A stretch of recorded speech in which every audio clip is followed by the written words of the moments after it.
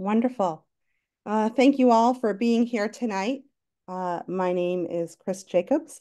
I'm the Executive Director of Pinewoods Camp. I know many of, many of you are very familiar with Pinewoods um, or you are a uh, pond neighbor, so welcome. And thank you so much for joining us tonight. Uh, we're very excited uh, about this year's Zoom series, which is focused on the Six Ponds region, uh, past, present, and future. And kicking us off tonight is Jackie Saltalamacchia of the Herring Pond Wampanoag tribe. And I'm just going to tell you a little bit about Jackie. Uh, Jackie proudly stands as a spirited firekeeper and embraces their identity as a two-spirit member of the Herring Pond Wampanoag tribe. They draw insp inspiration and purpose from deep connection to their lineage as a direct descendant of Sachem Catchatasset in the royal line of Monument Ponds, Herring Pond, Wampanoags. Fueled by this ancestral connection, Jackie is motivated to channel their efforts with unwavering dedication towards the betterment of the Herring Pond Wampanoag tribe. And Sonia Kaufman, one of our awesome board members, is here and helping run tech. And Sonia will be uh, adding some chat links into the chat feature and uh, is posting Jackie's full bio if you want to read that. Uh, so thank you again. We are going to hold questions until the end, uh, and then we'll open up questions for Q&A. Um, so for here, I'm going to turn it over to Jackie. Thank you so much uh, for being with us tonight, uh, and thank you, thank you. Thank you, Chris. Wanikan Wanonk, Natatuis Jackie, Nutamas, Sikwana. Good evening. I am called Jackie and I'm from Herring Pond. Welcome everyone to our presentation of the past, the present, and the future of the Herring Pond Wampanoags. Tonight, we will explore the history of the vibrant culture and the promising future of the Herring Pond Wampanoag people in Plymouth, Massachusetts. Throughout our discussion, we'll take a look into the resiliency and the aspiration of this small Wampanoag community, fighting against being erased and looking to beat the odds stacked up against their future. Our one hour presentation will cover a brief history of the Herring Pond Wampanoag tribe, challenges of colonization, a glance at present day tribal life, environmental and conservation efforts, and then we'll follow with a 10 minute or whatever remaining minutes for questions and answers.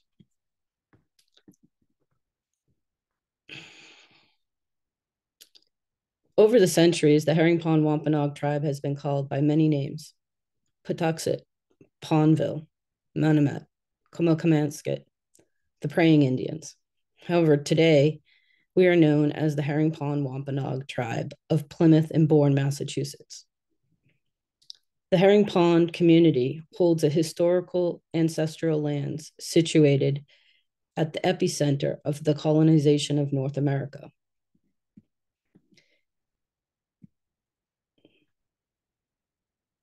These Wampanoag lands, specifically in Plymouth, Massachusetts, are ground zero of the extensive brutality and history of colonization and the appropriation of indigenous lands within the United States. The Herring Pond Wampanoag tribes' homelands span from Plymouth to the upper reaches of Cape Cod, Bourne, and Sandwich. The Herring Pond Wampanoag people are deeply rooted within this region, fishing the waters, cultivating the lands, raising our children here. For over a millennia, the Wampanoags maintained a continuous presence in this territory.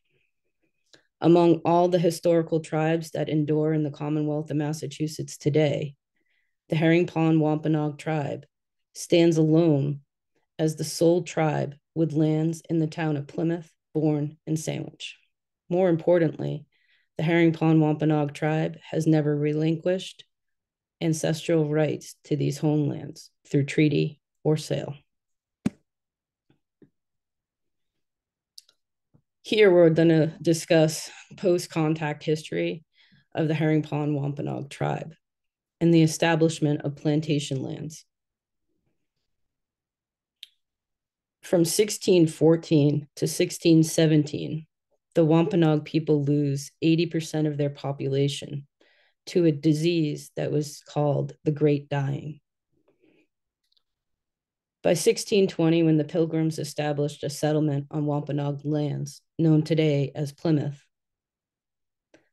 the Wampanoags had already been decimated in their population.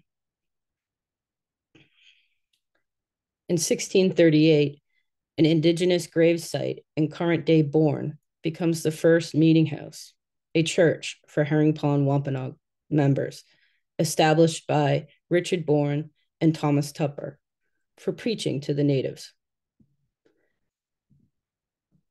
By 1655, the Plymouth colonial officials set aside land, a plantation. Later, in the establishment of the US territories, these plantations would become to be known as reservations, a word synonymous with the United States and Native people. The plantation of the Herring Pond Wampanoag tribe was further described in 1674 as being a tract of land preserved for them and theirs forever, which is near 10 miles in length and 5 miles in breadth, which is approximately 15 square miles or over 10,000 acres. In 1675, King Philip's War rages, and over 40% of the remaining Wampanoag population is killed or sold off as slaves. In 1685, the Herring Pond Wampanoag is recorded as having 120 individuals. And by the end of the 1600s in 1694, the Massachusetts Bay government places all Native people on the reservation lands under authority of the colonial officials, who were so called guardians of their plantation. By the 1700s, the Wampanoag population in the Plymouth colony has on, undergone a sudden and large scale loss of people and lands. In 1725, the Plymouth Colonial Institute institutes a proprietary system of land control for Herring Pond, with tribal members would be known as the collective owners of the land and or proprietors. In 1775, Herring Pond members fight on behalf of the independence in the American Revolution. By 1779, Herring Pond Wampanoag tribe members are recorded at 108 individuals. In 1790, the Trade and Intercourse Act is enacted. The Commonwealth leaves roughly 3,000 acres of the Herring Pond Wampanoag land, once three times this size, in tribal ownership. Originally spanning over 3,000 acres, these parcels included the Great Lot, which is 2,600 acres, the Meeting House Lot, 200 acres, and the Hever, Herring River Lot, fondly known today as the Valley, with about 400 acres.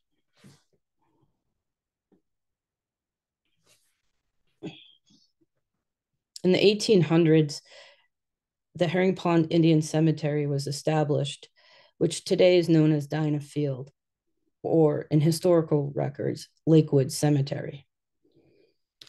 In 1838, shortly after the cemetery, the Herring Pond Mission is built, and that meeting house stands today on Herring Pond Road in Plymouth, Massachusetts. In 1850, the Massachusetts legislatures approved the division of Herring Pond Wampanoag tribal lands. The land is split among tribal members, making 111 individual property allotments, inalienable to anyone other than the Herring Pond Wampanoags. The federal government did not approve this attempted extinguishment of tribal title as required by the Federal Intercourse Act. In 1850, the federal census identifies the Herring Pond Wampanoag tribe. In 1861, the population of the Herring Pond Wampanoag people living on the reservation is 67. In 1890, the U.S. Commissioner of Indian Affairs identifies the Herring Pond Wampanoag tribe as one of the few tribes in the eastern United States still in possession of their lands.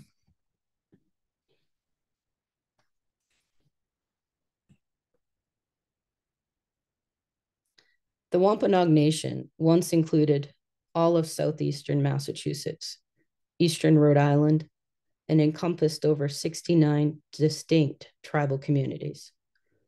The, Wamp- the Wampanoag people have undergone a very difficult history after assisting the pilgrims in the early 1600s. With the European settlers came much adversity for our tribe. Disease virtually wiped out whole villages, systems of government that bore little resemblance to our tribal practices and values. Missionaries intent on using and converting our us to Christianity, and private models of land use and ownership that conflicted with our tribe's own communal practices and values. The vast majority of these tribal communities were killed in battle, initiated by colonists to secure land. Our name Wampanoag, means people, the first light. And in the 1600s, we had as many as 40,000 people in 69 villages that made up the Wampanoag Nation. These villages covered the territory along the east coast as far as Weymouth and all of what is now Cape Cod and the islands, southeast as far as Bristol and Warren, Rhode Island. We have been living on this part of Turtle Island for over 10,000 years. Today, the Herring Pond is one of three historical Wampanoag tribes surviving out of the original 69. With over 40,000 people, the Wampanoag people stand resilient today with 5,000 people. The Herring Pond Wampanoag tribe stands 200 strong with less than a half acre of land. But we stand with determination of our ancestors that we are still here.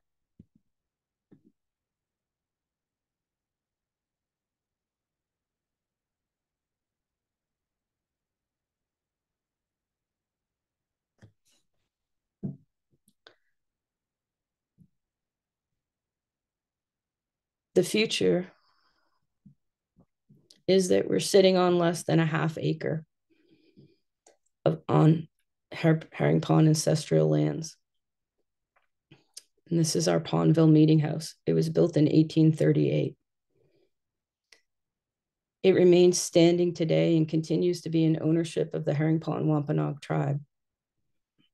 Our meeting house has become the heart of our tribe and a place where Wampanoag culture is taught, celebrated, and honored. It's here on less than a half acre of land. You can hear the echoing heartbeat of a resilient colonized people known as the Herring Pond Wampanoags. And um, I'm just gonna pause here for a minute because uh, I don't think that I um, completely understood when I was making these slides how um, they would affect me. And uh, when you really uh, try to quantify what has happened to a, a community, um, to family, um, to land, to um, our wildlife, to our waters, um, it really does hit you. And um, I think that uh, that's when this uh, really hit me that we have a half acre of land. Uh, we have 200 um, tribal members, and we're still here, and we're resilient. So, in 2019, the Herring Pond Wampanoag tribe led an effort and petitioned the town of Plymouth to return the ownership of a six acre parcel that included the burial grounds known today as Herring Pond Indian Cemetery or Diana Field.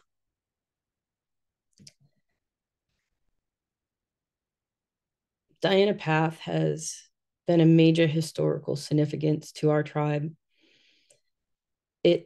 It sits on the land that we call the Great Lot, which is the parcel which was approximately 2,600 acres. It originally belonged to the Herring Pond Wampanoag tribe before it was drawn up on maps, taxed, or boarded by settlers. This land embodies the culture and historical implications for the tribe. This is the site of our burial ground, and it officially dates back to the 1800s. Currently, only a handful of graves are identified, but historical records point to as many as 50 tribal members at rest on this site. And further, written historical records do not recognize the estimation that this was an active site well before cultural of burial was practiced.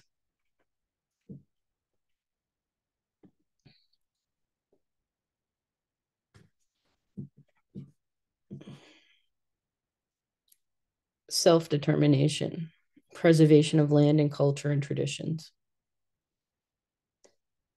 Again, I think uh, this slide was a slide that uh, when I was making it, it really um, it really sank in and it really uh, makes me want to go out there and do more work. um, so today there's 5,000 Wampanoags that live in New England. There are multiple Wampanoag communities, Aquinnah, Mashpee, Herring Pond, Assonet, Chappaquiddick, Pocasset, and Seneconk. There's an importance of the power of place. It's never more evident than it is with Native people. The ability to have self determination, preservation of lands, and cultural traditions is now the challenge taken on by the Herring Pond Wampanoag tribe.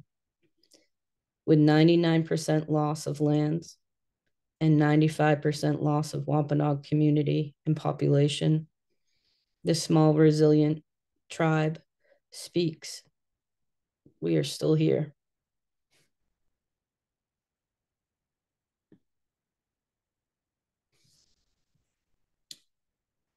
Today, the tribe is taking on efforts to raise money to acquire 38 acres of our ancestral homelands. This land is called Triangle Pond in Plymouth, Massachusetts. This is a big undertaking for our tribe. We are a small tribe, and this fundraising goal is really big for us. But what's more important is even if we acquire these 38 acres with the six acres that the town of Plymouth gave back to us, with the half acre that the tribe was able to keep in their possession, that would give us a total of 45 acres of our ancestral homelands. That's less than a half a percent of our original plantation. So our tribe is still here. We've always been here. We've been in Plymouth, Bourne, Sandwich, and it's important to understand that we may not have always been on the front page, but we are here.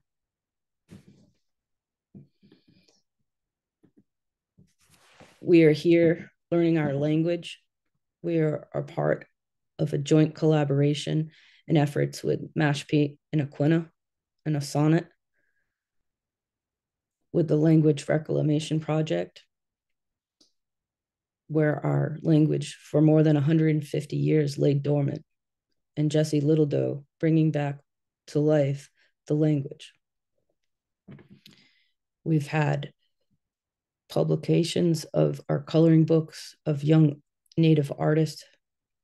We've had libraries where we have food sovereignty programs and literature and free Wi Fi. We celebrate Herring Day. The herring are a sacred fish. It signals the return to life after winter. This is Native American Wampanoag New Year.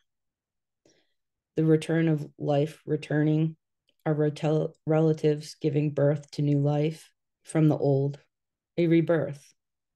The young ones start to emerge, the cubs start to awaken, the sun starts to feel warmer, and the world starts to be busy with more movement after its time and rest.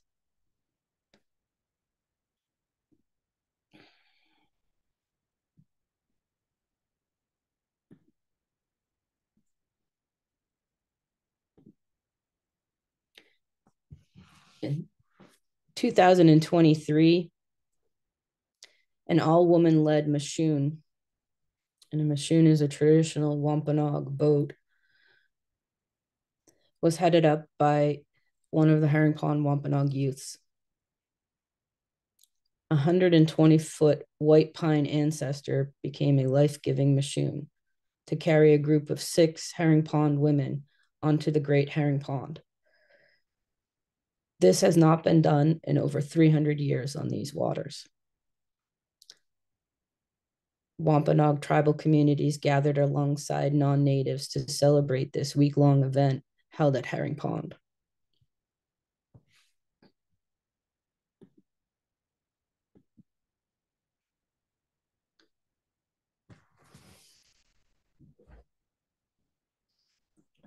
In 2008, the residents at an annual town meeting approved a $1 million for Preservation Act funding.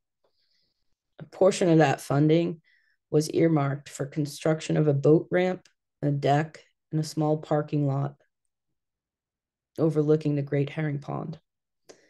The site is Herring Pond's Wampanoag tribe's burial ground and also a historic pre woodland era summer encampment.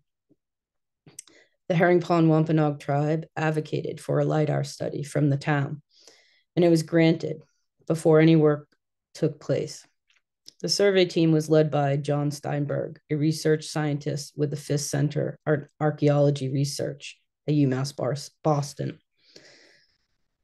The study came back conclusive of a major cultural significant area. To date, there has no been no work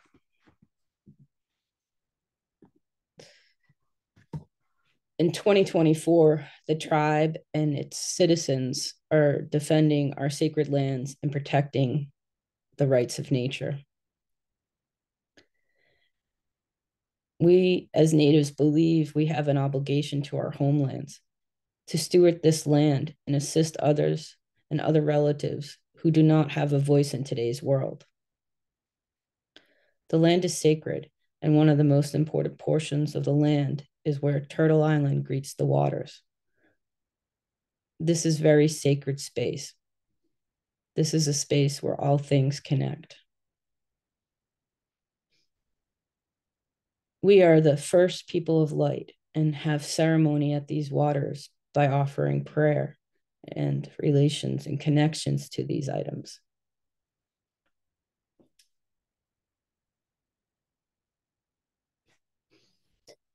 Currently we have i would like to say only one but we definitely have more than one uh, conservation efforts that are, undergoing with the tribe. Uh, that goes from our herring and our lands where Berring Hill, where our ancestors are, all being um, put up for construction and uh, deforestation. We're fighting against sand mining, industrial ground mounted solar farms. And this is increasing at an alarming rate in our local area. we work with Community Land and Water Coalition to stop this. The Herring Pond Wampanoag Chair has spoken out against solar farms that are causing fast deforestation. Over 250 acres have been lost.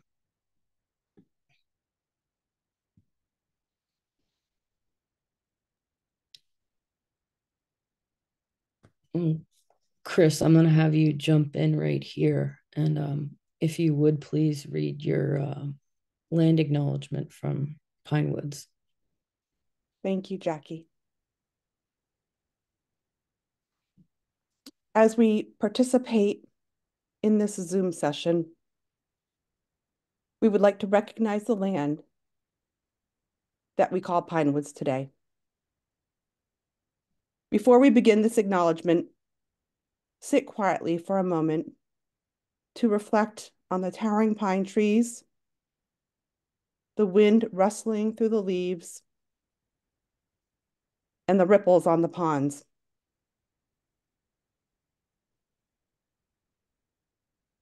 We honor and thank the Wampanoag Nation, whose traditional and unceded lands we gather on at camp. We are grateful for their stewardship of this land across hundreds of generations. We extend our gratitude to the waters of Long Pond, Round Pond, and the land and trees that sit between them.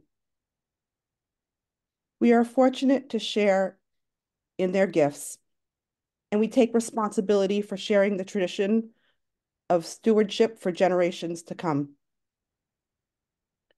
We honor and thank our neighbors, the sovereign Wampanoag communities of Herring Pond, Mashpee, and Aquinnah. We celebrate their deep and ongoing relationship with this land and recognize their resilience in the face of violence and persistent discrimination. We affirm our commitment to build authentic relationships with our Indigenous partners and neighbors and engage in respectful allyship through our actions. Our progress towards these goals is ongoing, and we're very excited about our current projects, growing partnerships, and the work that lies ahead. We invite you to learn more about our action steps and guiding principles uh, that are being posted in the chat. Thank you, Jackie. and I think this is really where we're going to open it up for discussions. But I, I want to say thank you to Pinewoods and thank you to Chris Jacobs. Um, the importance of land acknowledgement statements. It's it's huge. It creates conversations. It creates uh, friendships. It creates relationships and um, without it, I don't think we would be as strong as we are today. And um, land acknowledgement is more than a formality, it's a crucial step towards recognizing and dismantling the ongoing effects of colonization. By acknowledging the land and its original stewards, we pay respect to the indigenous nations, their elders, and their descendants. This practice also serves as a reminder of our responsibility to address the historical injustice and support the sovereignty and the rights of Indigenous people. So, this is really where I would like to have um, open up for conversation and um, talk about. Thank you so much, Jackie. Um, so you can put questions in the chat function and we'll monitor that, or you can use the uh, reactions button and raise your hand. Uh, and that will help us um, find you in the list. So thank you so much, Jackie. Uh, Jackie has a ton of knowledge. Uh, and so please ask your questions. I, I have a question. Um, what is LIDAR? LIDAR. uh, lidar is a ground penetrating x-ray um, so that was used to scan back and forth over the land and at that time they discovered um, what they considered to be significant uh, burial sites within the area that the town was wanting to put the boat ramp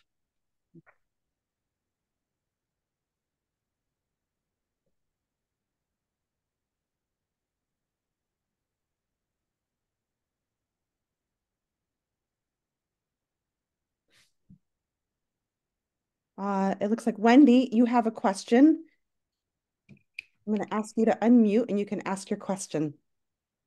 Yes, um, I was glad to hear about the grant that you got for the deck, etc. Um, but I think you said no work has been done yet. Uh, can you say if you have funding, why that isn't moving forward? Um, there was no grant for the deck. Um, that grant was if if you're talking about um, where the lidar survey was done for the um, yeah if we go back i'll uh, so right here the town was actually granted this money to buy this uh, land and this land was indigenous herring pond land um, in particular the hirsch property which is my family uh, ancestries. And it's right next to our herring pond wampanoag tribal burial grounds. And they were going to right beside the burial grounds improve their entryway into the great herring pond um, with a new boat ramp and dock and a parking lot and um, the town voted it and it got approved. However the tribe uh, petitioned the town to do a lidar ground penetrating x-ray um, of the area because we believe that this was a you know an extensive uh, burial ground that may not have um, stones. And the findings were significant area of cultural uh, significance um, the town has not done any work in this area And is there a reason they have not, or did the tribe ask them not to do any construction? um under state laws there's a reason that they would have to push forward and um because of cultural significant uh, findings they would have to have specific laws that would allow them to go forward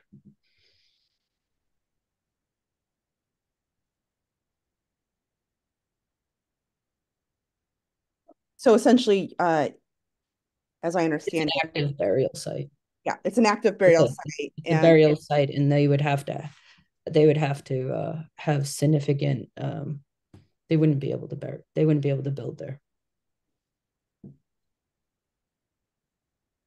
Excellent, thank you. All right, so we do have some questions coming in. Um, actually, lots of questions coming in through the chat. Um, so the first one is, how are the remaining lands owned by the Herring Pond Wampanoag tribe managed? Well, that's easy. We only have a half acre. well, actually, I'm sorry, six and a half acres. Um, and that is managed by the Herring Pond Wampanoag tribe. And Jackie, the six acres at Dinah's Path, mm -hmm. uh, there are lots of restrictions on that, correct? Is correct. It, um, so, correct. Um, none of these, the, the six acres that we received back, um, there's conservation restrictions on this land. Um, it's also a burial ground. Um, so there's no, uh, we can practice um, our ceremonies up there. We can um, honor our ancestors. We can forage there. Um, but there is no building, there is no ability to do anything except keep it in preservation. Mm. Thank you. Okay. So we having multiple of the same questions, what which essentially are what what can we do? You know, obviously they can donate to the Triangle um, Pond Fund.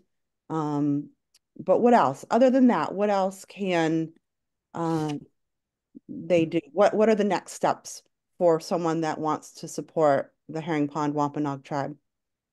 Yeah, that's a great question. So, um, one of the things I would say is just get out there and, and talk, right? Um, if you could share this uh, page, the fundraising campaign, if you can share it on your social media, if you can talk about it, if you can get it out there, um, that helps us. It helps us raise the money so that we can acquire these lands. Um, and as far as what else you can do, I would say start to have conversations with native people. That's where it starts. It starts with a simple coffee or, you know, um, maybe a walk in the woods and we're uh, foraging and picking cranberries. Um, it starts simple and it just so that you can understand that we're still here. We're not a relic. We're not a thing of the past. And that um, we have struggles and our struggles are a lot. And um, if you just took the time to sit down and or walk or um, have conversation with us you would understand the struggle that we have ahead of us. And um, to follow up someone you know saying very generous of you to give your time and energy to educate non-native people and field questions, but are there things that you wish that uh, non-natives were more curious about? Yeah, I do. Um, I wish non-natives were more curious about how the system was put together to identify who is considered native in this country. Um, we are one of the three historical tribes in Massachusetts. Uh, Aquinnah and Mashpee are federally recognized. We are not. In the state of Massachusetts, just its own um, laws does not recognize state tribes. Um, so, understanding how the system is put in place to rip apart the fabrics of a native community. And i think it's evident when you see there was 69 tribes and today there's less than five um, that it was a very efficient system. And um, having the federal government decide who is native and who isn't um, with how the colonization and how the birth of this country took place I think when you think about here, um, again, I use the word ground zero because it happens so quickly within the first 100, 200 years. Um, the loss of land and um, native population. That by the time this um, federal structure of how to handle Native Americans got to the west, it uh it looked very different than how it is today and and how it was in 1620 1675 1780 um 1838 so um i think being curious about how that system is in place and um, i would say that it's a very harmful it's a harmful system. Thank you. Um, another question that has come in um, is wondering if the tribe has easy access to Herring Pond itself. The pond? Yeah, Great Herring Pond. No, we do not have access uh, to Great Herring Pond. Our uh, our meeting house um, is on Herring Pond Road, uh, 128 Herring Pond Road in Plymouth, Mass. However, it does not have access to Herring Pond. Um, our tribal cemetery um, overlooks Great Herring Pond.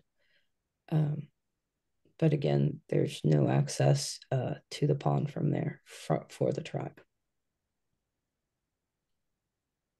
So when you were doing the mishoon burning, you had to go on someone else's property, I'm assuming.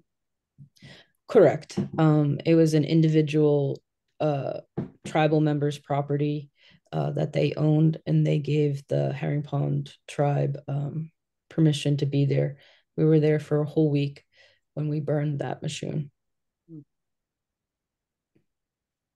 Um, so I know that the um, Mishoon burning, you did allow the public to come and look at that.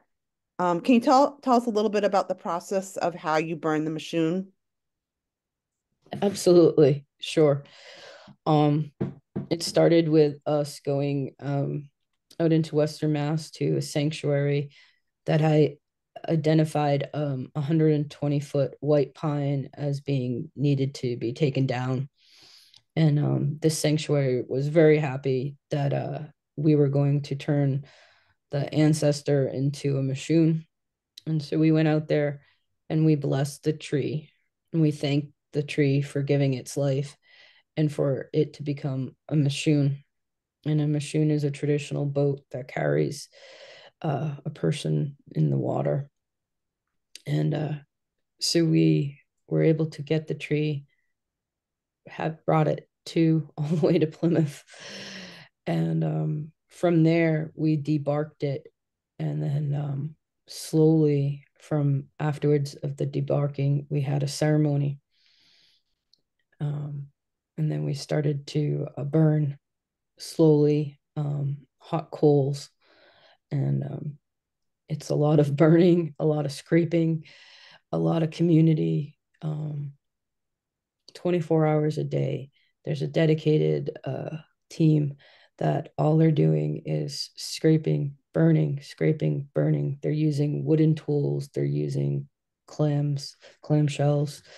Um, the community is surrounding them and singing and drumming, and uh, there's always lots of food. There's always lots of food, and um, everybody just camps out, and um, it becomes a, um, a, it's good medicine. It's good medicine for the community, and not only was it good medicine for our community, it was good medicine for the uh, broader community on Herring Pond. Um, when we launched that mishoon into the water, there was cheers that came out all over the pond. And um, not just from where we were um, it was just echoing on the waters. And uh, it was a, a pretty big uh, moment that was shared with a lot of uh, people that day. That's wonderful. Um, we have a question here. Um, why uh, can you explain why you call the tree an ancestor Hmm. Absolutely. Um, well, they are. They're, we, I would say that we believe that nature is sovereign. Our relationship to the land and to um, the waters is that it's a gift. That it's not something to be commodified. Um, it's something to be respected and um, held and honored. Hmm. Um, and what is the minimum width for a Mishoon? It looks like a pretty big, I pretty big tree. I would love to say the minimum width. Uh, yeah. So the circumference of that tree uh, was at 120 years old. Uh, I would say that it was at least 24 inches wide at that base or maybe even more 36 inches at the widest part of that because um, we cut it really low at the bottom of the base so that we get the widest part of the trunk of the tree. Um, yeah. All right there are more questions lots of questions here. Um, mm-hmm. someone's asking if the recording of this zoom will be available and yes, it will be uploaded to Pinewoods uh, YouTube channel, and then uh, we'll take that link and then embed it into our um, page for the series. Um, you know, we're doing this winter series. The next one is coming up on April, I mean, sorry, March 26th. Um, so yes, this will be available. Um, and Sonia just linked our YouTube channel uh, in the chat. Um, and so, okay, so lots of questions. Okay, going back up, um, folks are wondering, um, are there ever any public programming that you do that um, Herring Pond Wampanoag Tribe does? Um, public programming. Um, yeah, so learning, yeah, events and learning opportunities. Um, are there? Do you have anything coming up? Um, I don't know if we have anything coming up, but there is uh the link to our page, and that's where we post things. Um, the tribal council and the committees post things both on our Facebook page and our Twitter account. Excellent. And those are those links have been posted in the chat feature. And uh, anyone uh, that signed up, what we can do too is take all the links and we can send them to you um, so you have them. Um, all right, so um, the next question, someone wants to uh, hear more about the garden and food sovereignty program um, uh, and how does it help teach youth about traditional growing practices? Yeah, so um, the Herring Pond Wampanoag tribe has a, a garden, and it was started uh, last year underneath the Massachusetts um, Wellness Program. And that's came to the idea that our food is a part of our wellness our um the way that we grow our plants the understanding about how these plants are grown um how they're grown together to support each other. Um, all summer long, we held a weekly um, class for our youth and for our elders. The garden had all levels of accessibility to garden. We talked about the importance of the three sisters. We talked about the importance of foraging and all this leads into a larger conversation about food sovereignty and what that means for the Herring Pond Wampanoag people. Food sovereignty isn't just something that you go and get. It's not a ham that is given to you or a sack of potatoes. It's this understanding of how to grow your food, where to forage, how to understand the seasons, but food sovereignty also might look like preserving 38 acres for wildlife to have biodiversity within those acreage and not be deforested. Food sovereignty could also look like a group of 10 individual tribal members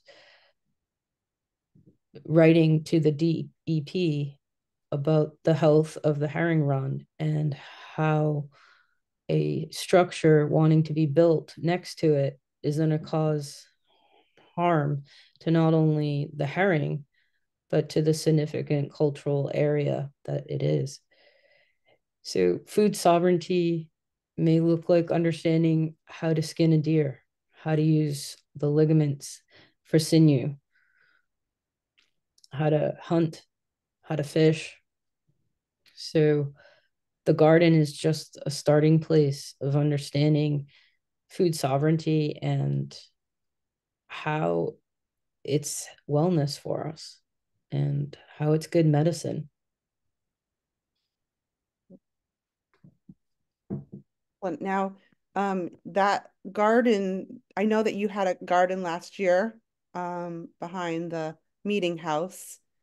Um, and uh, and I encourage you, um, the community. Uh, funny story, Jackie and I, how we met. I was at that meeting house. Uh, it was used um, for a low cost clinic pet vet. And I brought my kitten there. And it's a first come, first serve. And so I was sitting outside under a tree, um, waiting my turn. And I saw this person going back and forth. They're working the land. They were taking, you know, weeding and cutting back things. And I went into my appointment. I came back and I got into the car and I'm like, oh, I wonder. I had been trying to meet someone from the Herring Pond community. And I got back out of my car and I went up to this individual and I I said hello and I just started having a conversation and that person just happened to be Jackie. And so that was less than a year ago. Um, had lots of nature walks. We've gotten to know each other um, and learn about each other's communities. And so when, you know, when you ask what you can do, educate yourself, be curious, ask questions. Um, I think, you know, coming from a non-native, one of the things is that you're afraid that you're going to ask the wrong questions. Um, and, I, and I guess my response is don't be afraid. Um, because I think someone who is native, who is indigenous, would much rather you ask a question than not. Uh, and, and so I think that that's really important. Um, and, and so that's just a quick little story about how we, we um, got to know each other and we've had this friendship that's blossomed since then. Um, so thank you, Jackie, for being there that day. So, um, and, I, and I see that Roberta has uh, her hand raised. So I'm going to ask you to unmute. Hello. Um, thank you. Um, it's been quite a lot of information to take in, but okay. And I won't go, I won't ask you how long it took you to put this documentation together.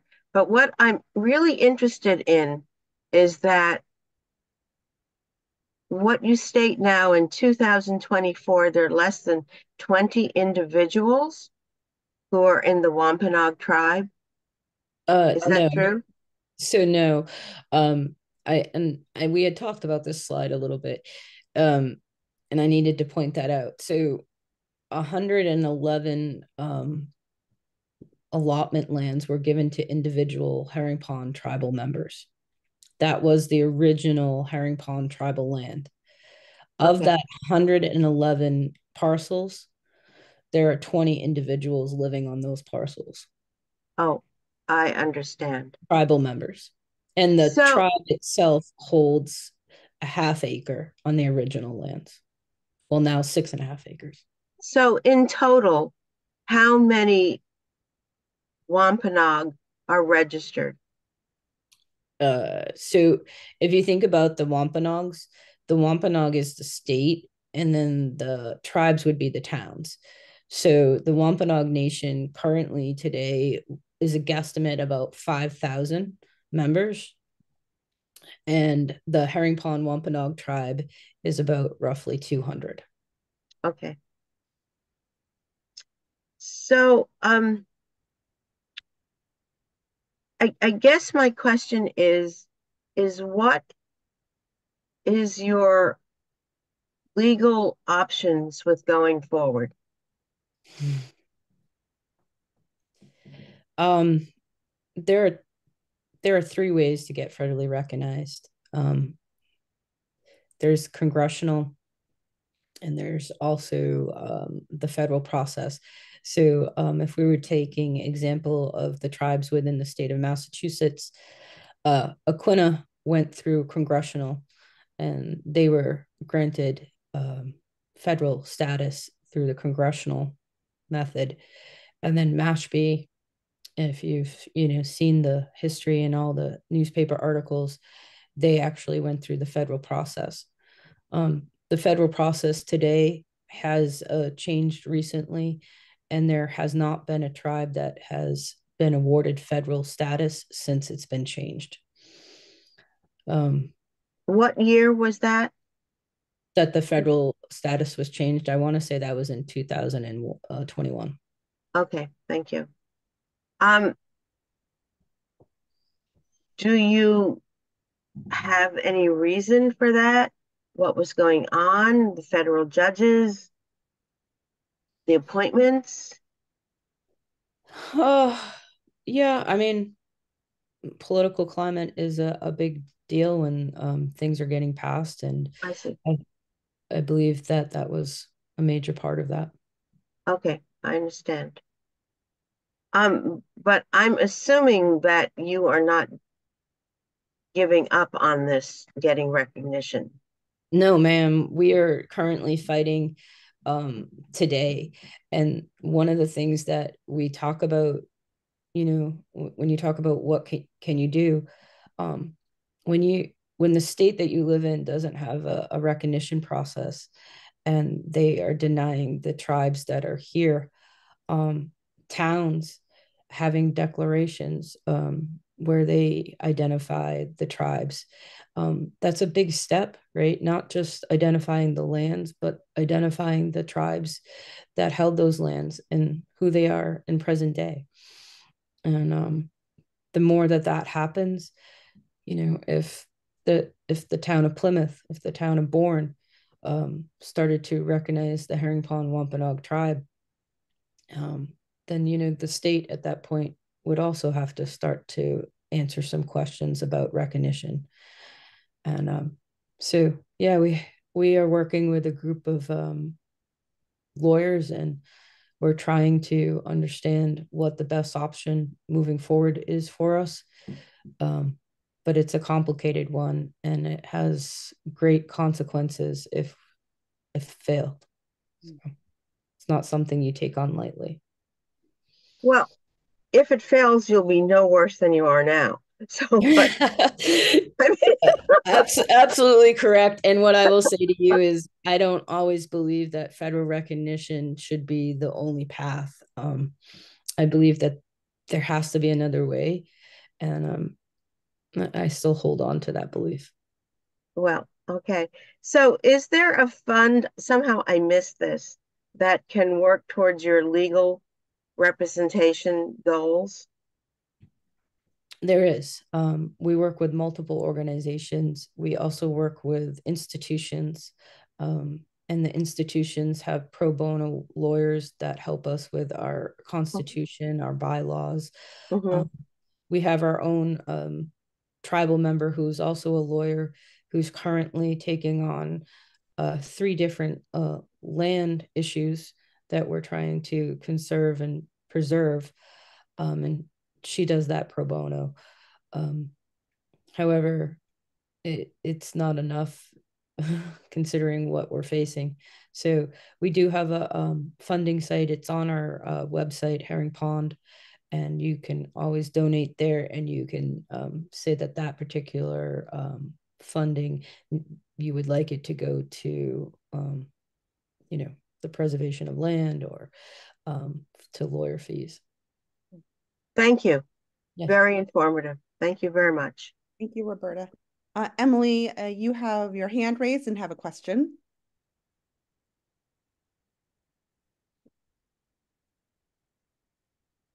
Emily?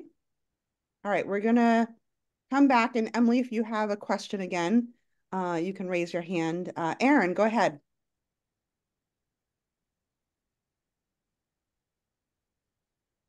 Oops, maybe I have to ask you to unmute. Oh, here I am. Okay, sorry. I just had two comments for Jackie.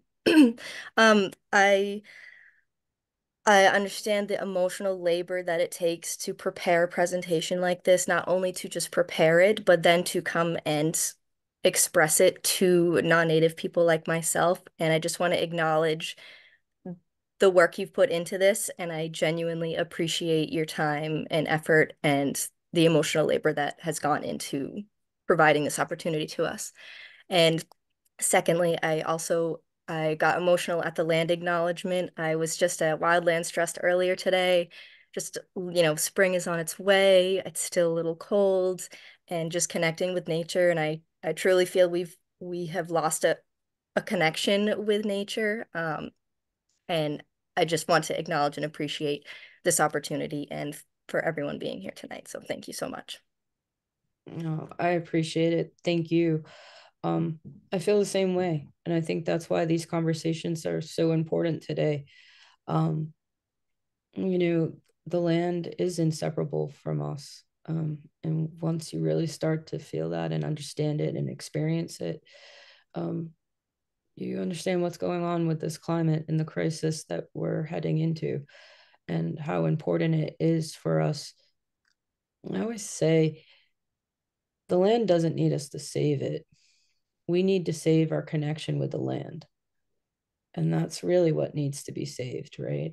How we connect to the land. And um, so thank you. I appreciate that. Thank you, Emily. Thank you, Jackie. All right, now I'm going to ask you to unmute, unmute uh, Aaron. Okay, thank you, thank you, Chris. Uh, thank you, Jackie. And what what you just said, Jackie, is still like sinking in about the land. so, kind of knocked me over. So now I have to. So I guess so. Thank you so much, and to what to what Emily said about the amount of work that goes into doing a presentation like this. Um, really appreciate it. Um, I guess my question, one thing I was really, really interested in that you spoke to was about uh, language reclamation as well. Mm-hmm. And I guess I'd be curious to hear what I, I are you you're involved in the in language reclamation projects yourself? Sounded like I'm a student, and I, I, I say that um, I'm I'm very beginner student, but uh, as it's very complicated. But uh, mm-hmm. yes. yeah. So my question then is, I guess, what is the language as like learning and immersing yourself in the language? What does that stir in you? Like, how is how you grown as a person um, in that in that in that beautiful work? you know, I was at language class on Monday night, and um, Jessie Little Doe is leading the language class. She's the one that brought our language back. After 150 years it hadn't been spoken. And um interesting enough about our language um the bible and all the missionaries that were created in churches um the king james bible was uh, put into wampanoag language so that it could assimilate our people and our communities. And um funny enough uh ended up bringing back the language, right? So it, it's poignant, right? And um, we have our language class in our meeting house, and it's also a church. Hmm. Um, so on Monday night, I had uh, I had joked and I said, "I'm going to introduce myself, and I'm going to use my native tongue," and uh, I, I hope I don't screw it up. And I had been practicing and practicing. And uh, Jessie just kind of joked with me and she said, even if you do, nobody's going to know because there isn't a lot of our, our native speakers. Um, but it also, she said something to me that just hit me. It, she said, this is more important than gold. You passing on your language is the biggest gift that you can have. And um, it really sets in when you can speak it and you can introduce yourself and you can just say hi and who you are in your native tongue and um, it humbles you in ways that I, I wish I could explain. Hmm. Wow. Thank you. Um, and, and, you know, lots of questions here, and I don't know if we'll be able to get to all of them, but you were just speaking of the tribal headquarters, but it's also um, a church and someone's asking the New Baptist Church is the same as the tribal headquarters. Why is that? Uh, so I, I guess that's a really complicated um, answer, but I'll try to do my best. Uh, today, currently, um, the Herring Pond Wampanoag tribe um, has to rent out uh, the building uh, to keep it um, up to dated, but even then, um, the small amount of money that we have um, from renting it out to um, the Baptist church um, isn't enough to keep it going. So we have to find grants and we have to find um, support so that we can you know um, put new windows in make it um, ad accessible right now uh, we have a it's unable for um, our handicapped uh, vet- veterans and our handicapped elders to get into the building so um, that's what we do currently uh, to keep the building running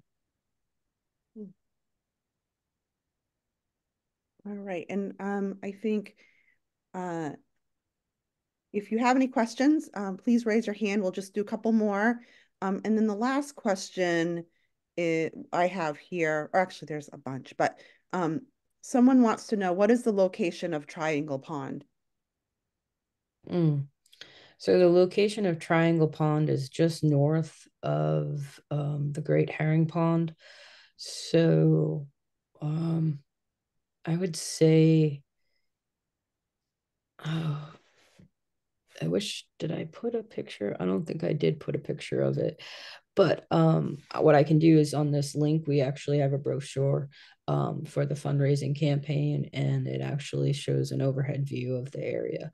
But it's just north, um, maybe 10 miles north of Great Herring Pond.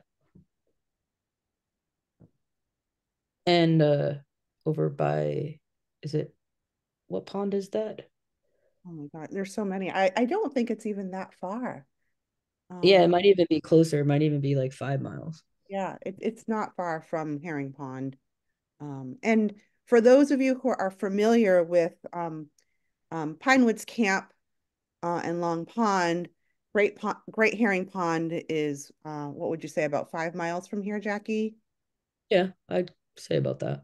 Yeah, about five miles. So it's not it's not that far um, from where Pinewoods Camp is. Um, all right. Um, and let me see if more questions came in. Um, someone asked if you partake in the annual herring uh, festival at Jenney Pond in April, and how do you view that annual event? I do not take part in the one at Jenney. Um, I do, however, uh, take part of one at um, in Bourne at the Herring Run. Um, it's an important time for us. It's an important time again because I talk about how the herring are significant part of spring and our Wampanoag New Year, but also how they're being affected today our elders tell of stories where you could just put your hands out and catch a herring. And now um, we're having devastating effects on marine life and um, overbuilding and pollution and just, you know, um, deforestation, um, putting in dams. All of these are having significant um, effects on the herring population and um, Massachusetts uh, Division of Marine Fisheries does a great uh, job at trying to increase the herring population, um, but it's definitely something that is struggling. And um, you can really feel that when you're at the herring run and you don't see as many. So, um, in a lot of ways, it's uh, something that makes you aware it it makes you aware of what we're doing to the lands and the water and how it's affecting more than just the people that are a part of the land. Thank you so much, Jackie. And we're gonna wrap it up. It is uh um it's 10 after um 10 after 8 here. Uh so um, what we'll do is, again, this program is going to be uh, uploaded to our YouTube channel. We ask that you share it. Um, and, uh, you know, just some things that PCI Pinewoods does, you, you, know, like what can you do? And it's as simple as in the off seasoning, um, in the off seasoning, uh, off season opening um, camp um, to the Herring Pond Wampanoag tribe. Uh, they um, we we have pine cones open, uh, and it's available for their use. Um, we are storing venison in one in the camp freezer for the Herring Pond tribe right now. um, that they get donated from the states. Um, we we gave you um, we're, we're working your what were you working on a bow? Were you using a A bow with Oh, right, the we cut down a Norway maple, a young Norway maple, which is an invasive species here at camp. Uh, you know, not here at camp, but across Massachusetts.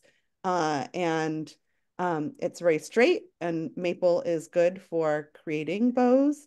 Uh, and so, um, and it's simple things like that. And it's just having conversations and learning and your willingness to learn.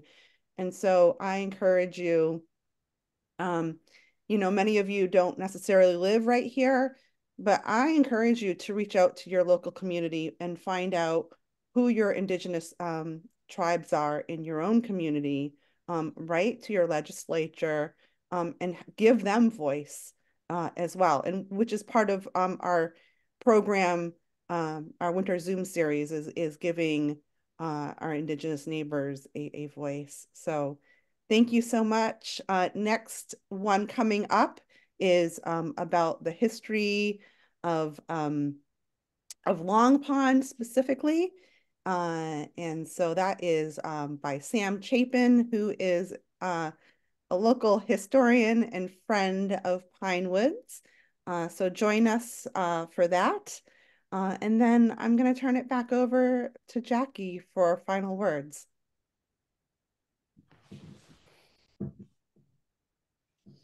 So I just wanted to thank everyone and um, especially thank Pinewoods Camp. Um, just starting a conversation, just saying hi. Um, it, it means the world to me. And um, it has inspired me to continue to do good work on days when I don't think I can uh, keep going. Uh, having friends that uh, I can talk to and that I can just, you know, get lost in the woods with, foraging and um, identifying all these different plants. It's um, it's been inspiring and it keeps me going. And uh, so, thank you. Thank you. Have a great night, everyone. Um, and we will see you. Thank you. Thank you.